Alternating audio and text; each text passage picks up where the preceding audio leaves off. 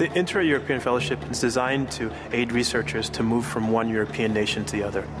I applied for the fellowship because it's very heavily focused on career development.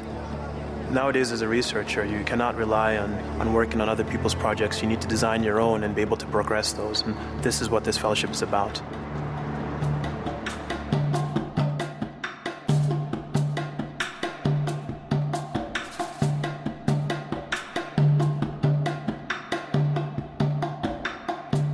I have an undergraduate degree in biochemistry and biophysics from Rensselaer Polytechnic Institute in New York City.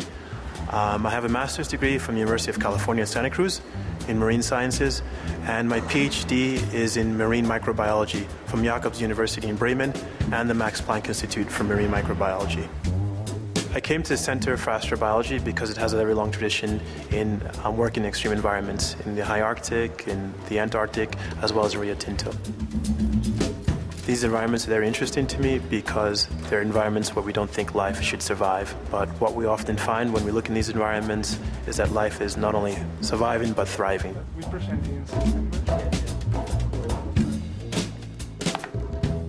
The focus of my research is to study or investigate microbes that cycle sulfur in the Iberian Pyrite belt. Um, this is interesting to us because these microbes form minerals and dissolve minerals that we believe exist um, on other planets such as Mars.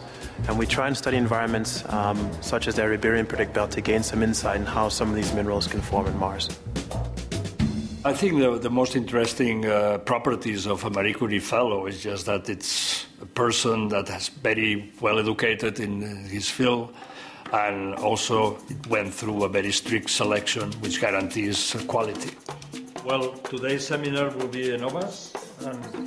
Having the Marie Curie Fellowship, it really forces you in the very beginning, before you even get it, while you're writing your proposal, think of an independent idea, something that's new in science, something that, um, something that brings everyone forward. You know, you something that you're going to have to learn from, and you're going to have to teach others while you're doing it because um, I'm here in Madrid, Spain. It's one of the most beautiful cities I've ever been in. I have to live and work in Spanish. I need to go to the grocery store in Spanish. I have to interact with a lot of my friends in Spanish. And being outside that comfort zone when I'm not speaking English, I think is one of the best things I've had in a very long time.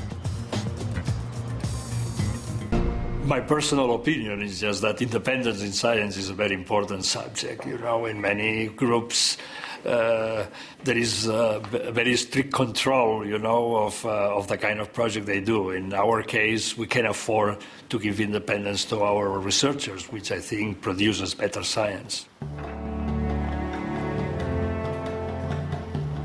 I'm actually responsible for progressing this project. I'm responsible for the budget of the project as well too. As a Marie Curie Fellow, everything is, is my responsibility. And that is um, the independence I think you need to do, have to be a successful researcher.